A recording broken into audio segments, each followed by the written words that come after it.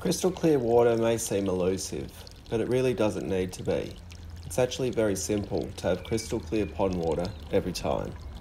G'day, my name is Kev, and the aim of my channel is to help people achieve the pond they've always dreamed about without spending a fortune.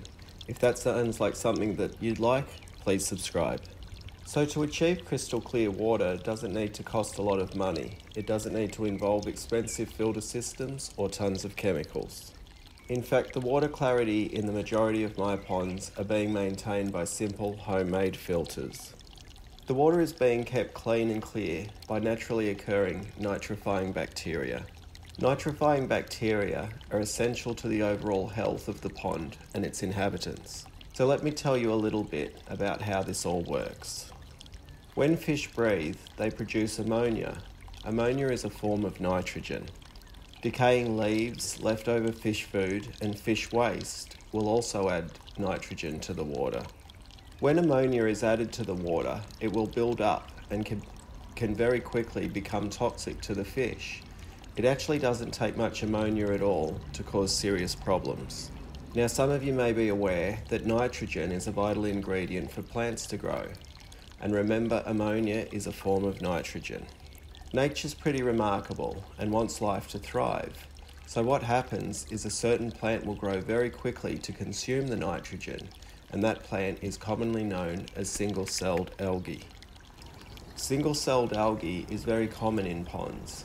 It is actually keeping the water safe for the fish and other aquatic animals by consuming the nitrogen. Of course, the problem is, in a pond like this, you can't see the fish unless they come to the surface. So to go from this to this, you need something else to process the nitrogen, and that's where the nitrifying bacteria come in. Just like the single-celled algae, the nitrifying bacteria are completely natural and are provided by nature. All that they require are wet surfaces to grow on. This can be rocks and gravel, underwater structures, submerged plants, roots, even the liner itself. So you may be wondering, if it occurs naturally and grows on everything, how come my water doesn't look like this? And the answer is you simply don't have enough nitrifying bacteria to process the amount of nitrogen being produced. And so if the nitrifying bacteria can't process it all, in steps our old friend, or nemesis, depending on how you look at it, single-celled algae. So therefore, the key to crystal clear water is having enough bacteria to comfortably process the amount of nitrogen being produced inside the pond. To do this, it's all about surface area. More wet surfaces equals more places where beneficial bacteria can grow. You may have already noticed that all my ponds have rocks or underwater structures. These not only naturalise the pond and give the fish shelter, but they increase the amount of surface area for the bacteria. The other thing all these ponds have is a biological filter. We call it a biological filter because it's alive. They are alive with masses of nitrifying bacteria and other beneficial organisms. Biological filters come in all different sizes and shapes, but they all aim to do the same thing. They are filled with either rocks, filter pads, sponges, bioballs, ceramic noodles, plastic aquarium media, fired clay balls, basically anything that will enhance the surface area available for the nitrifying bacteria to grow on. I personally prefer to build my own biological filters.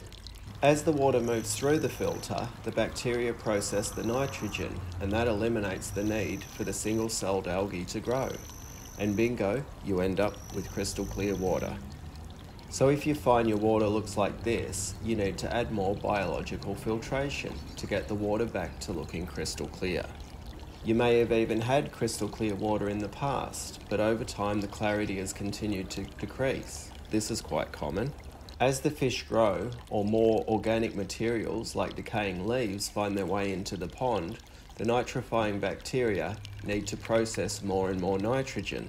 Again, if there aren't enough bacteria to process the increase, along comes single-celled algae to keep the water safe for the fish. Over the next few weeks, I'll make some videos explaining exactly how I create and configure the plumbing on these cheap DIY biological filters and what sort of materials you can use to build them yourself. Like I said, the aim of my channel is to help you create beautiful ponds without spending a fortune.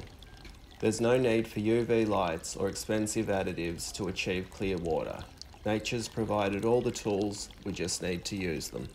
I hope this has been helpful, thanks for watching and I'll see you in the next video. Bye.